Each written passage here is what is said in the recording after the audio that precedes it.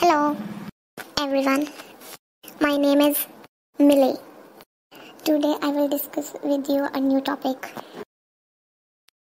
that is web browser. What is a web browser? A web browser is an application software for accessing the World Wide Web.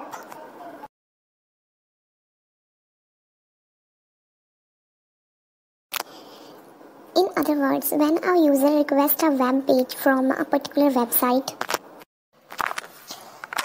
the web browser retrieves the necessary content from a web server and then displays the page on the user device.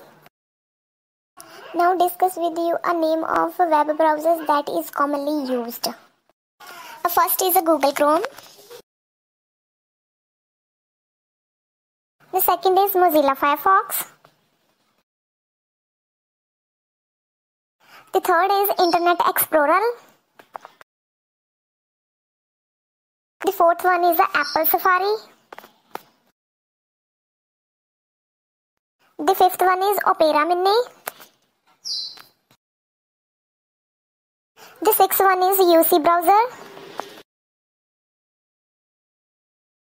The last one is Netscape Navigator, etc.